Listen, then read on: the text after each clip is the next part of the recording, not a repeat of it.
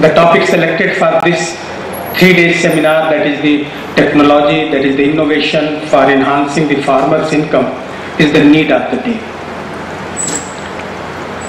When we talk about the enhancing the farmer's income, we will recall the 1940s, early 40s, when 40 lakhs people die in India in Bengal because of starvation. At that time, our objective was not for enhancing the farmer's income, not for nutritional security, it was the food, food security. We brought innovation, we developed the technology, and now we are not only sufficient, as Dr. Malhotra says that we are even surplus in food grain production. That is not the history of only Indian green revolution, but in world also. If you see the history, there were glorious history of agriculture production system. Don't go much behind. It was 1992 when world was producing only 692 million ton of the food grains. Ton of the food grains. 284 to 290 million ton of the horticultural crops, fruits, vegetables. 162 million ton of the milk.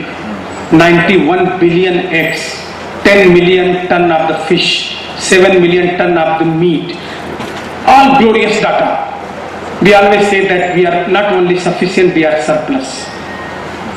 But friend, despite all these things, despite our all-round development in agricultural production system, despite our all-round development in services sector, the conditions of farmers, of rural people has not changed much. As per latest statistics by FAO, in India, farmers are getting only 31 paisa of their 1 rupees produce. This is the point for concern for today. That how to enhance the farmer's income with the same production, with the same productivity. At present, I, I, am sure that many of us know that, are knowing that uh, enhancing the production may not be a concern. Question is that how to enhance the income of the farmers with the same production and productivity. In world, if 1 billion people are hungry, out of that 250 million are in India itself. So till we are not enhancing and out of that 250 million, 90% are belonging to the farmers community or they are rural people. So how long we are not increasing their income, our all technology, our all innovation are not having much impact to the rural people. I am coming from animal science, dairy science.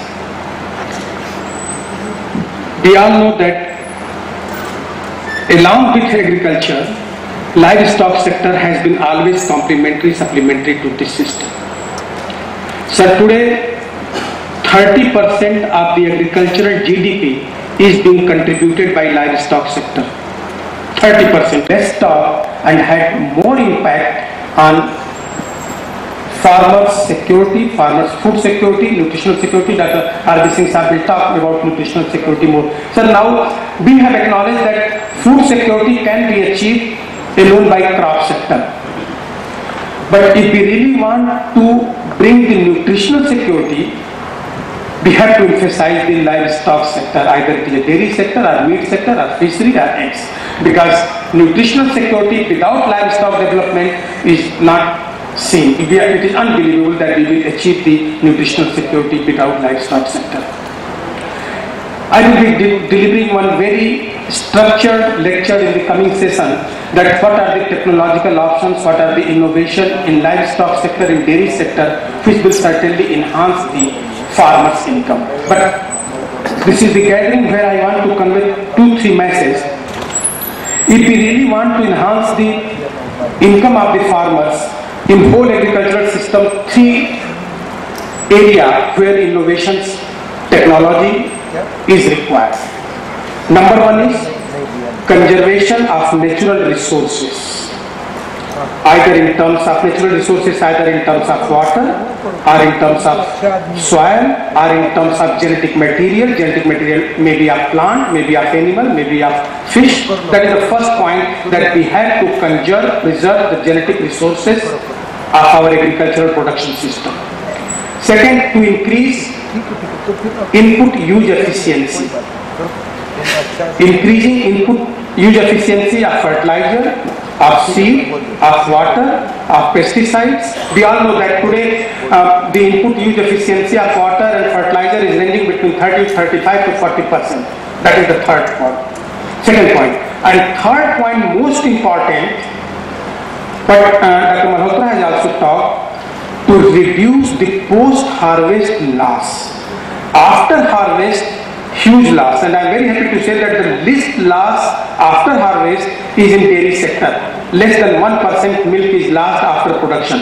Horticultural, huge loss. I don't know what exact data uh, Dr. Malhotra, Dr. SPC might be uh, telling to you, but 84, 80 to 84,000 crore rupees we are losing every year after harvest. Sir, in horticultural crops, there was a data uh, that what India is losing in fruits and vegetables after production is equivalent to consumption of whole of the Europe in horticultural crops. So means, means if we can conserve each and preserve each and every kg of produce, I think farmers' income will be automatically enhanced. So th that is one area that we will be uh, talking.